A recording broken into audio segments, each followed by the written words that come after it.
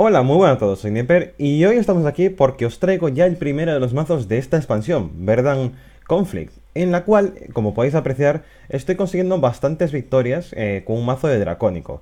Y es el mazo que vamos a ver hoy. Así que, sin más dilación, vamos allá. Eh, tengo un problema con, con el ordenador y tengo que verlo todo a través de la grabadora. A ver. Pues cuando estoy grabando, por algún casual, no me graba el juego. Es, es bastante estresante. Vamos allá con el mazo. Y aquí lo podéis ver, dracónico. Es un mazo bastante curioso, basado en los arbolitos que han venido. Y sobre todo, ganas con eh, cartas como este señorito, el cual me tocó animado y estoy con bastante suerte a, la hora que me tocara también las Neptuno. ¿De qué trata el mazo? Pues el mazo es una especie de rampeo dragón pero en el cual tienes muchísimo robo, a veces incluso demasiado, y tienes que andar rompiendo arbolitos. Aparte de ir subsistiendo para que esta carta, junto con el propio Shiva, puedan cumplir su función de limpiar la mesa. Ya os digo yo que es un mazo bastante sencillo de jugar, aunque hay algunos puntos de la partida en los cuales te puedes llegar a coger un poquito de miedo por cómo juegan los rivales y los mazos que están jugando, que tienen asaltos, tienen grandes bufos a la mesa, etcétera, etcétera. Entonces, ahí cabe el peligro a que tengáis miedo a que os pasen por encima. Pero a la hora de que la partida se alargue, vuestro mazo va a ser mucho mejor que el de los rivales por eh, una razón muy simple. Tú estás haciendo daño por turno con este señorito. ¿Y de qué trata el mazo? Pues mira, vamos a verlo tranquilamente y es el siguiente. Tenemos aquí, como podéis apreciar, eh, la carta del maná, la cual nos proporciona muchísimo robo, ya que ella de por sí eh, te, da un arbolito por coste 1 y si es turno 5 para adelante te devuelve un maná, haciendo que puedas jugar el arbolito en ese mismo turno si has podido pagar esto. Y si se alarga muchísimo la partida y no has podido ganar por tus propios medios, entonces tendrás que tendrás una posibilidad extra que sería con el dragoncito este, el dragón del vendaval. Que recordemos es un dragón que, dentro de lo que cabe, para costar 6 es un asalto más. Así que esto junto a los megalorcas, pues puedes tener unas opciones más de dañar directamente a la cara. ¿Qué más tenemos por aquí? Pues obviamente tenemos que tener también generadores de arbolitos. Y empecemos con el más básico, que sería el dorado. El dorado este es una carta que nos va a facilitar mucho robo y a la hora tenemos un pequeño problema y una virtud, que si no tienes ningún árbol en mesa, entonces este señorito te va a generar uno. Pero si lo evolucionas también te genera uno. Así que eso está muy bien en caso de que si no tienes ninguno empieces a generarlos, pero procura no tener ningún árbol en mesa cuando te mueran bichos como este o como los que vamos a ver ahora del Parque Jurásico, porque va a ser bastante importante de que puedan morir sin tener a nadie ningún arbolito cerca, ya que ellos generan uno. Y recordad, si hay un árbol en juego, y estos bichos dicen que generan alguno, pues dejará de, generarse y dejarás de poder aprovechar esa segunda virtud. Como por ejemplo sería la carta esta de aquí, que vamos a tratar primero el Velociraptor porque esta es la carta más importante para jugar en turno 3, turno 4, ya que es una mecánica de rampeo muy buena y un rompedor de árboles. Y además, si no hay ningún árbol en juego, entonces ya puedes generar el árbol que te ha roto él haciéndote que si te lo generas tú en la mano, los arbolitos, pues puedes ir tirándolos desde la mano, acelerando muchísimo el robo y acelerando muchísimo las cargas para Valdein, que al fin y al cabo es la carta más importante a la hora de ganar la partida. Tenemos aquí, ahora sí, vamos a hablar del Velociraptor, el cual es el generador de, de arbolitos por excelencia, porque él al entrar en juego te genera un árbol a la mano. Y cuando estás en furia te genera dos en lugar de uno. Esto puede hacer de que te quemes cartas incluso, pero lo que necesitas es tener árboles que puedas romper, siempre y cuando hayas podido jugar un Baldain antes. Eso es, eso es bastante esencial. Eh, tenemos también una carta que es muy importante, que es esta señorita de aquí, la cual es una robadora perfecta, ya que tiene por coste 3, es un 1-2, y te roba dos cartas de clase natura. Y hablemos de clase natura, que son todas las cartas que hemos visto, nuevas, de nueva incorporación, e incluido sobre todo Baldain que Valdein es la carta más importante a la hora de robártela antes del turno 4 o en el propio turno 4 para poder conseguir la erosión. La erosión es la carta más importante de este mazo a la hora de ganar partidas. Pero si no os llega a tocar, también hay opciones de poder ganarlas, ya que, vale, esto es daño constante, es un daño que vas a ir cargando a la hora de romper arbolitos. Pero hay otras mecánicas con las cuales también puedes ganar. Aún así, si lo tienes y puedes bajarle el coste al hechizo, que recordar, al evolucionar a Valdein, eh, reduces 2 el coste a los hechizos estos que tengas en la mano. Si es el segundo Balding que evolucionas en un hechizo que ya tengas, pasa a costar 0. Porque es coste 4, pasa a costar 2 y después pasa a costar 0. Así que puedes completar un turno bastante bueno en el caso de que tengas, mm, por poner un caso, eh, Neptuno más Date en turno 10 y le quieras sumar el daño este o si ya lo habías jugado uno antes para poder matar a un bicho que no puedas matar con el, con el, con, el combo completo. Porque, recordar, tendréis un arbolito la mayor parte de las veces en mesa.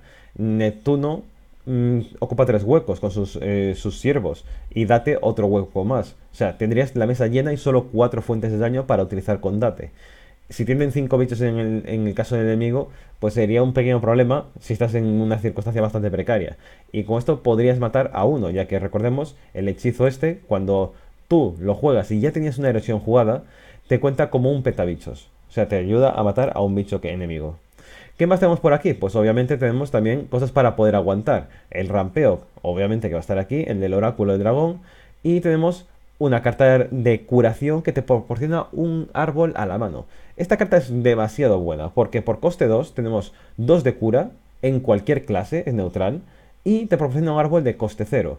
Esto es brutal porque estás hablando de que te curas de 2 y robas por coste 2. Porque lo normal es que vayas a jugar este arbolito para contestar otro arbolito. Y si no, pues para iniciar una cadena de árboles, que también está bastante bien. Aún así, guardarte los arbolitos de coste 0 para un turno grande, a no ser que ya hayas tirado a Baldain, pues está bastante bien porque te puede ayudar a completar la mano en caso de que no tengas mano, de que hayas tenido que jugar muchas cosas, cosa que veo muy difícil en este mazo. Y el tema de las curaciones, pues es una cosita más que te va a ayudar a sobrevivir. Cosas más que te ayudan a sobrevivir en este mazo, pues tenemos aquí el señorito Fénix. El graznido del Fénix es una carta que, aunque veáis que cuesta mucho, hay que mirarla con otros ojos, ya que es una especie de salamandra focalizada. En lugar, la salamandra, por si no lo recordáis, era un hechizo que si lo jugabas por aumento de 6, hacía 3 de daño a un combatiente y después un área a todos de 2. Esto es la versión opuesta, o sea, primero haces 2 de daño a toda la mesa y te deja caer en la mesa un fénix. Ese fénix es un 2-2 con, con embestida. Así que tendrías esa opción de hacer daño focalizado después de la oleada de daño. Esto viene bien para quitarte de encima guardianes que sean muy molestos de dos de culo y poder matar tú a lo que de verdad te importa, cosa que de otras formas pues sería un poquito más problemática. Y estarías utilizando un bicho, el cual, si juegas un hechizo, que aquí tenemos algún que otro hechizo, te volvería la mano. Ya os digo, tendréis la mano bastante llena, así que no es probable que os lo recibáis gratamente en la mano, pero es una opción más que puede surgir. ¿Qué más tenemos para sobrevivir en la mesa? Pues tenemos a Shiva, la nueva incorporación en la cual sería como la de la fil neutral para todo el mundo, pero cabreada. Y va a ser muy importante utilizarlo solo en situaciones muy concretas, ya que cuesta mucho maná y tienes muchísimas cosas que poder jugar a lo largo de los turnos. Aún así, si corresponde con los turnos que tú necesitas por el momento de la partida, necesitas curarte, pues si coincide con el turno en el cual te cura, pues es brutal. Si llegas a llenar la mesa y si coincide con el turno en el cual bufa la mesa, ah, es increíble. Y el de daño a la cara siempre funciona, como podéis comprender, porque tenéis también daño a la cara pasivo durante todos los turnos, gracias a Shiva y gracias a Baldin. Otras cartas que también te van a ayudar a soportar la partida serían el Triceratops, el cual me he tenido que craftear porque al final no me tocó ningún sobre. Y es muy bueno porque, primero, te rompe un arbolito, estás robando cartas, por lo tanto no pierdes mano. Y segundo, cuando él muere, deja un arbolito en mesa. Y si rompe un árbol, mata a un bicho enemigo. Esto es muy bueno porque, aunque destruye un bicho al azar, en lugar de uno que tú quieras, mm, esto viene muy bien a la hora de que te jueguen invisibles. Así que Imperial no puede ganarte como sería lo habitual contra este mazo jugando a su rollo normalmente.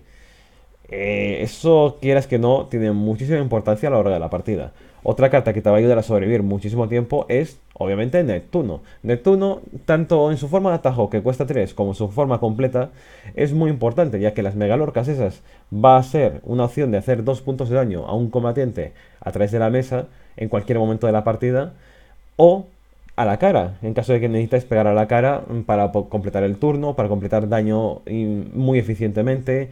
Si estás jugando contra un vampírico, el cual puedes contemplar que tenga Calamity, la calamidad, eh, le dejarle a 11 de vida, para que le duela mucho más esa calamidad, etc.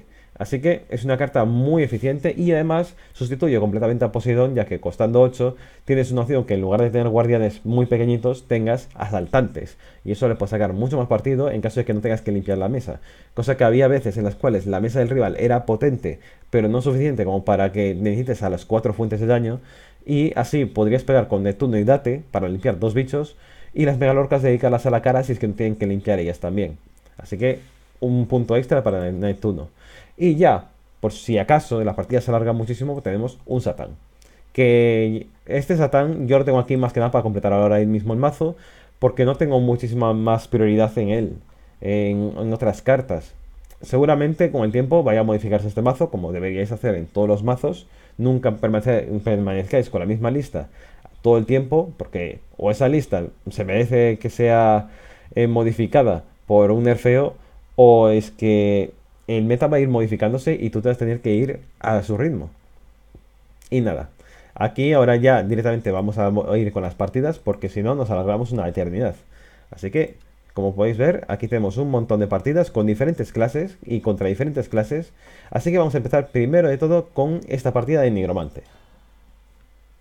Nigromante actualmente está bastante bien y gran parte de la culpa la tiene el perrito. El perrito es una aberración de carta y vais a poder contemplar el por qué es tan peligroso. Creo que tengo el volumen un pelín alto. Mm. Ahí está.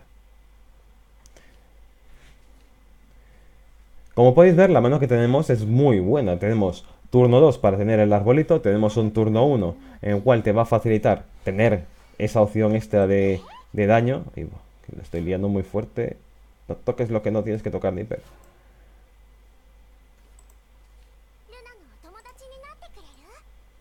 Bueno, lo dicho, en turno 1 no tienes otra cosa que hacer. El mana está muy bien jugarlo en turno 5 adelante, pero si no tienes otra cosa que hacer, al final te sale igual de rentable. Incluso puedes completar mejor el turno si lo juegas ahora. Porque fíjate, he jugado el oráculo y ahora puedo hacer en, mi turno 3, que es el turno 4 porque ya he rampeado, puedo jugar otro rampeo más. Romper un árbol, ya empiezo a robar cartas y lo obligo a generarme otro arbolito. Eso es muy, muy bueno. El dorado, una vez ya tienes un arbolito en mesa, pierde bastante importancia, pierde bastante eh, potencial. Pero fíjate lo que tenemos aquí. Tenemos al perrito este que ya es un 3-3. Los perritos estos, cuidado con ellos porque van a dar mucho que hablar. Ahora mismo no puedo hacer nada contra él, así que vamos a dejarlo pasar. Lo que sí que voy a es conseguirme un arbolito para poder robar, a ver si es que me viene alguna cosa mejor para el siguiente turno, ya que el siguiente turno va a ser el turno 7 y podría completarlo muy bien con el propio Valdein. Aún así, Valdein, si lo evoluciona él y tiro el hechizo, son 6 manas, así que me saldría bastante normalito juntando con el mana que ya tengo mismo en la mano. Aún así, veis que tengo 6 cartas en la mano. Entonces, te puedes pensar que está bastante bien. Y veis el perrito, lo doloroso que es. Ya es un 7-7. Pensar que eso es una carta plateada que entra por un coste muy reducido y tú lo haces que esté bastante bien. Aquí, obviamente, no tengo otra opción. Este es el único bicho que tengo con golpe letal, el cual me sale rentable por este turno. Y pues mira, tú por dónde, ya vamos a empezar a jugar la maquinaria de Baldain. Me ha hecho muchísimo daño, pero el problema de este tipo de mazos es que hasta cierto punto eh, se pueden, puede hacerte una presión muy grande, pero a partir de ahí Baldain se va a recuperar, ya que tenemos Neptuno, Date, el Triceratops, etc. Incluso el Fénix ya tengo aquí y le vais a ver que voy a sacarle muy buen partido en este turno. Aquí no comprendí por qué no lo evolucionó, sinceramente, porque hubiera sido brutal, ya que no podría haber jugado tranquilamente el Fénix. Pero bueno, teniendo la cura esta, me sale perfecto, coste 5, puedo jugar ahí el Fénix y limpiar completamente la mesa. Me voy a hacer bastante daño, se va a, curar a la cara, correcto. Pero fíjate todo el daño que va a recibir por turno, ya está recibiendo 4 daños por turno. Eso es una aberración. Porque aunque se vaya curando ahora, la máxima curas que tiene es de 2. Mm, y eso es totalmente controlado por mi parte. Aquí está buscando seguramente otro perrito o alguna mecánica en torno a él. La acabara de tocar ahora, si no, no lo hubiera jugado antes para que empezara a crecer. Y ahí tenemos un 3-3 que ahora mismo no me preocupa nada en absoluto. ¿Y por qué no me preocupa? Pues porque, como podéis ver, tengo un Triceratops, el cual voy a jugar en torno a él para poder aprovechar al 100% las cartas. Aquí tenemos el guía, el cual si lo evoluciono ahora, me proporcionará un arbolito. Y lo tendré en la mano preparado para cuando me muera tanto él como el Triceratops. Tengo dos árboles ahí que pueden surgir. Así que está muy bien para ahora, la hora de aumentar el daño.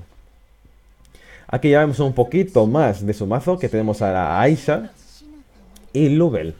Esto duele muchísimo. Pero no pasa nada, porque todo lo que viene ahora mismo en la mesa no me preocupa, ya que tengo el, el Pterodáctido, tengo a Date, tengo otro Baldain. Y aunque no tenga puntos de evolución, esto ya es muy rentable en todos los sentidos. Porque los Dates y Baldain pueden limpiar lo que, lo que yo quiera. Aún así, ya visteis que su turno se quedó un pelín flojo. Y no pasa nada. El maná, que me devuelve un punto y me devuelve el Fénix. Y ahora vamos a poder aprovechar esto al 100%. Porque, como podéis apreciar, cura, me quedan 7 manás. Con 7 manás es como funciona ahora mismo un turno de date. Lo podéis hacer con estos bichitos. Y ya para el siguiente turno hubiera tenido a la Neptuno, tendría otro date para poder hacer las movidas hubiera ganado, tarde o temprano. Aparte, me estaba alejando constantemente del daño que me podía hacer para matarme. Y eso es lo que más le estaría preocupando ahora mismo a mi rival. Ahora vamos con la siguiente de las partidas, que sería esta partida de aquí, que como ya dije antes no lo puedo ver, eh, contra Imperial. Imperial, la gente está desistiendo bastante a la hora de jugar a Imperial, de llegar al final de las partidas. Y eso me preocupa porque implica de que no están profundizando mucho o están copiando mucho listas y si no les sale la partida perfecta para grabar vídeo o lo que sea, pues no lo están experimentando al 100% para poder potenciarlo y acostumbrarlo al propio jugador. Pero aquí, como podéis ver, tengo una mano bastante decente a la hora del robo. Y si me quito el, el Velociraptor por si acaso me toca otra cosa mejor, porque el Velociraptor ahora mismo no me importa ya que tengo el dorado. Y habrá que ver más adelante la partida. Neptuno, Neptuno está muy bien por lo que os dije antes. Puede limpiar en turnos previos de la partida. Y sobre todo yendo primero está bastante bien. Por eso de que puedes hacer el, la contrajugada a un rival. Aún así, recordar, en Imperial ahora mismo hay un combazo de turno 7 que cuidado con las Dwayne y el espadazo y demás cosas, porque os pueden destruir la vida. Hay una cosa que clona cartas y, y ya Dwayne, eh, Dwayne pega una brutalidad. Dwayne, Dain, o como se llame, no me acuerdo. Octrice, Octrice ha vuelto a jugarse porque obviamente hay muchas cartas que tienen última voluntad. Y aquí ya me ha quedado el arbolito. Así que el terrorátido me sale bien jugarlo ahora mismo. Y simplemente es llenar la mesa constantemente para hacer mis movidas. Siguiente turno era turno 5, porque no he podido rampear propiamente. Me hubiera salido gratis el siguiente turno, pero me salía gratis ahora, así que no os preocupéis por no jugar el maná en los en la segunda fase, si la podéis jugar en la primera fase, porque al final el cómputo es el mismo. Aquí tenemos que me juega una Ivory y le sale bien por el tema de limpieza de mesa, pero me deja el Velociraptor vivo. Y es una cosa que no terminé de comprender. Porque el Velociraptor ese me lo Por ese puntito de daño puede ser matar el Velociraptor. Así que, Pterodáctido, vamos a rampear, vamos a robar cartas. Tengo ya ahí así para más adelante. Y ahora es cuando empezamos a recuperar un poquito la mesa, aunque sea. Pterodáctido para limpiar la mesa. El Velociraptor tiene también que ocuparse de limpiar, porque no podemos permitirnos este ritmo que nos estaba llevando de daños. Aunque estaba bastante curado, eh, Imperial, ya os digo, puede dar un vuelco muy grande a la partida. Ether le roba una carta de coste 6, la cual mm, actualmente no sabría exactamente qué podría llegar a ser, pero es una carta más que puede entrar al cómputo de llena de mesa. Como veis es en lo que se está centrando. Una cosa que no he entendido es por qué ha tirado con el... Con el... el ay, la carta dorada. Posiblemente es porque no tenía ningún tipo, pero ningún tipo de bufador. Entonces es un bicho que es un 3-6 que lo tienes ahí en la mesa y ya está. Entonces consideraría que estaba bien protegido. Obviamente no. Y aquí, como podéis ver, he dejado vivo al de 4 de ataque en lugar del otro. Pues me parece un poco arriesgado a términos generales de la partida, porque estaba a 15 vidas, me dejaría, ya estoy a 11 potencialmente con esto, pero también dejaba con mucha vida al Triceratops, y si me lo quiere matar, o evoluciona algo, o tiene que chocarlo con, con la propia que está ahí. Aunque bueno, tira este y suma, y aquí descubrimos que enteramente es un mazo de Levin, porque así tienen las evoluciones gratuitas gracias al hombre lobo ese. No pasa nada, tengo un arbolito en la mesa y aquí ya podemos nosotros empezar a operar. Árbol tras árbol, tenemos que nosotros controlar la partida o al menos ir robando constantemente. Y aquí tenemos a la primera. La primera, Neptuno. ¿Por qué digo la primera? Porque tenemos otra más más adelante, así que nos podemos permitir ahora jugarla por ser un guardián. el guardián nunca pesa. He estado pensando también que a lo mejor metería el hechizo que hace 3 puntos de daño y si tienes furia te pone Megalocas en la mano, precisamente por ella. Pero ah, tendría que analizarlo un poquito más tranquilamente más adelante. Aquí me hace un turno bastante potente, llenado de mesa completo. Pero sigue sin ser algo determinante. El Levin tiene el tema de que llenas mucho la mesa, tienes un potencial con, con Alberto al final de la partida muy grande, pero poco más. Y aquí tenemos a Neptuno y a ver si podemos sacar nosotros algo. Tenemos aquí, estamos robando, curándonos y todo lo que podemos. En caso de que no toque nada decente, que tengo para el siguiente turno algo muy decente, tengo Dates y tengo Neptunos, pero hasta la saciedad, pues aquí ya juego a este porque además era el turno de daño directo a la cara. Y recuerda la ruleta, eh, daño, cura, bufo, daño, cura, bufo. Entonces, puedes jugar en torno a ello. Tenemos aquí que me está haciendo muchísimo daño. Está obteniendo evoluciones gratis que gracias a que está el lobito ahí en mesa aún. Está siendo muy molesto mi rival. Pero llega el turno de Date. Y Date hace lo que le apetece en las partidas. Y aquí ya el reino de Date es indiscutible. Date más Neptuno, ya que no está Poseidón, limpias toda la mesa e incluso puede dedicar daño a la cara. Y esto ya le cuesta mucho recuperarse a mi rival, ya que tiene un 5-5 con guardia, el cual tiene que pasar atrás de él, ya que toda su fuente de daño van a través de la mesa. Y muy importante que las megalorcas sigan siendo dracónicos, porque, eh, aparte, fijaros, he dejado la mesa completamente llena. Él me, sabe que me he curado, el siguiente turno es de bufo de la mesa. Tiene que ocuparse de limpiar la mesa él, sí o sí. Aquí vemos la espadita para poder limpiar, aunque sea un poquito. Consigue poder de asalto, estoy a 11 puntos de vida. Sí, pero sigo teniendo al late en la mesa. No me lo puedes limpiar, a no ser que lo estampes. ¿Decide pegar con toda la cara? Sí, pero no pasa nada. ¿Por qué? Porque yo tengo curas por aquí, infinitas. Tengo ah, árboles para seguir robando y me quedan 8 manas para poder hacer una Neptuno en caso de que quisiera. Pero bueno, si toca Valdein ya se acaba la historia, porque mínimamente ese hechizo de Valdein ya pegaba casi para eliminarlo.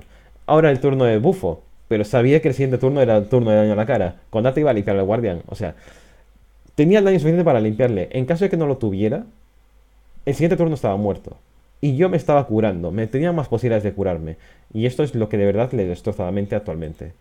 Y vamos a continuar con otro mazo distinto. En este caso va a ser eh, Clerical, que Clerical está muy bien. Como podéis ver, me están, jugando todo tipo de mazos. Estamos viendo que nos han jugado eh, Forestal, nos han jugado Rúnico, Vampírico, aunque bueno, no, eso es, eso es en el limitado, nada, fuera, fuera. Eh, forestal, Clerical, Nigromante, imperial. Están jugándose muchísimas clases porque todas las clases han, obtenido muchas mecánicas nuevas de, ser jugadas. Y obviamente está siendo muy divertido jugar ahora mismo partidas clasificatorias.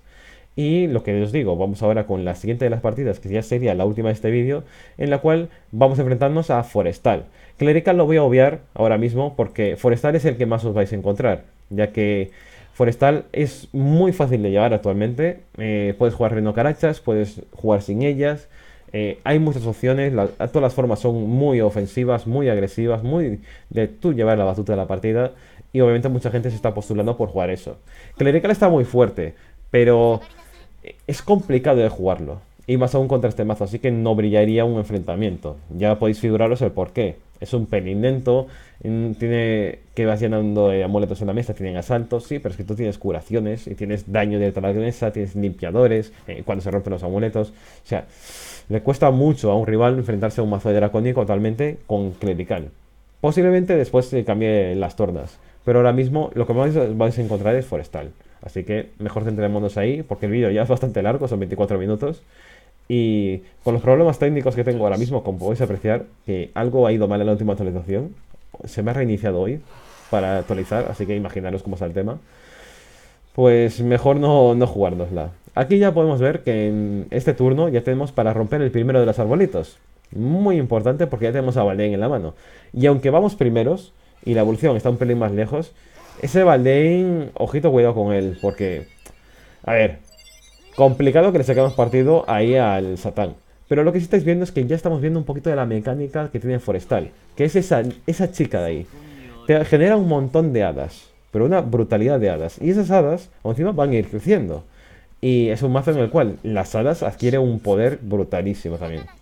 Aquí este evoluciona para tener un arbolito, le quedan dos manas, por tanto se puede permitir hacer estas cosas. Y además me limpia a Balden antes de que yo lo pueda evolucionar. Lo que él no sabe es que tengo otro Balden en la mano y voy a tener dos hechizos por coste reducido. Y eso es lo que de verdad va a cambiar un poquito las cosas. Ahora, sí que sí, Balden. Y esto es información que no tiene nada que ver con la, con, la explicación del mazo. Pero tenía los dos Balden y este es el Balden evolucionado. Así que preferí guardármelos para, para activarlo ahora. Ya que el otro sabía que iba a morir. Si le era por generarme el hechizo. Como podéis apreciar, tengo un 6-5 con el peletán en la mesa, así que tiene que dedicar algo para poder matármelo. Ese árbol que veis ahí es muy bueno. 3-1 como embestida de generadas para la mecánica de las hadas es muy bestia. Así que cuidadito con él. Gran árbol en la tierra, el cual está robando constantemente, eh, tiene muchísimo maná para poder destinarlo en esa partida y le proporciona a Mai, la cual como sabéis, es muy buena a la hora de limpiar mesa del rival o para completar turnos. Pero, Pteroláctido, ya el siguiente turno es turno 8, por lo tanto podremos contar con las Megalorcas. Y si me toca un Baldain, pues hay que aprovecharlo. Última evolución que me queda, así que vamos a utilizarla en él para bajarle el coste tanto al primer hechizo de que el coste 0 y poder jugarlo ahora si queremos. Y el otro tenerlo jugable por coste 8. Eh, digo, en coste 2, ya que podríamos jugar a la propia eh, Neptuno y jugar al hechizo, ambos al mismo tiempo. Aquí juega un Shiva de una forma bastante buena, porque jugar ahora para tenerla activa está muy bien. Aunque yo no lo hubiera estampado contra, contra sinceramente. Pero bueno, a lo mejor se pensaría que podría rampear en este turno y ya que había jugado el Terrorátido, pues no querría darme otro arbolito que podría entrar en la mesa. No pasa nada, tenemos aquí árbol tras árbol y menos guardamos todas las demás cartas, ya que no hace falta jugarlas ahora mismo. Tenemos para en cuanto me maten en látido, tener otro árbol que se pueda romper y lo más importante, mátame en látido. Si me lo matas, me estás favoreciendo a mí. Y eso es lo que no quiere. Ya visteis que sus curas son relativamente pequeñas. Y mis daños son bastante grandes y pueden ser mucho mayores. Gracias a que tengo a Neptuno y a Date. Y aquí, la verdad, yo creo que ya vio de que el daño era inevitable y yo lo voy a aprovechar completamente. Otra Mai que le vaya a la mano, no está mal. Adquiere un bufo brutal en la mesa porque, como sabéis, había jugado a Siva en el turno anterior. Y aquí es cuando ya lo reventamos. Porque tenemos a Neptuno, Date y en caso de que, no, de que el siguiente turno no podamos limpiar, tenemos otro date y tenemos otro hechizo. Eh, tenemos otro hechizo y tenemos a un Shiva ahí preparadito también para hacer movidas. Esto es muy duro para nuestro rival. Tenemos 17 puntos de vida, así que me puedo permitir pegar toda la cara. Ese Hada no es ningún problema. Y como veis, solo está diciendo 3 puntos de daño, que no es la gran cosa, pero poquito a poco eso va a ir diezmándole. Y ahora mismo tiene que enfrentarse a una mesa muy potente. Me juega la Dika, y la Dika es muy buena en este turno, ya que puede limpiar las dos mayores amenazas. Me encantan sus frases. y le proporciona el hechizo ese, que quieras que no, puede ser muy problemático para más adelante.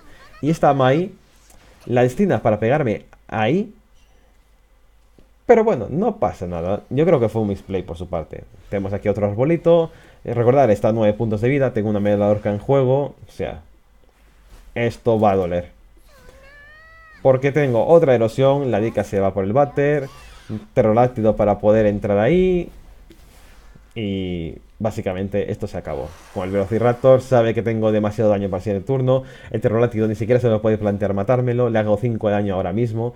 Eh, como limpia toda la mesa, sabe que tengo para hacer aumentar 2 el daño. O sea, tendría que ponerse en 7 de vida para sobrevivir un turno. Eso es muy imposible. Y este es el potencial del mazo, en verdad. Es, tú estás aguantando, te curas poquito a poco, tienes a Shiva, tienes el hechizo, eh, tienes los arbolitos para estar robando constantemente. Este veis que es una partida en la que me he quedado con poquita mano para hacer el mazo con lo que robas.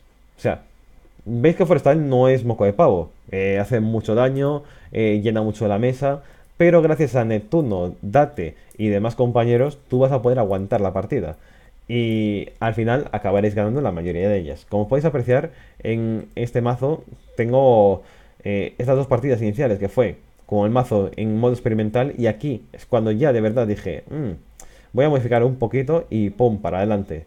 Y fueron todas partidas que fueron victorias aseguradas. Y nada, hasta aquí sería el vídeo de hoy. Espero que os haya gustado. Voy a dejar la pantalla con el mazo como tengo el bug, tengo que verlo todo a través de la, de la grabadora. Esto no sé si será un bug generalizado o será porque este ordenador está en las últimas, la verdad. Pero bueno. Y nada, aquí os dejo con el mazo. Que sepáis que en la descripción tendréis el mazo para poder construirlo vosotros.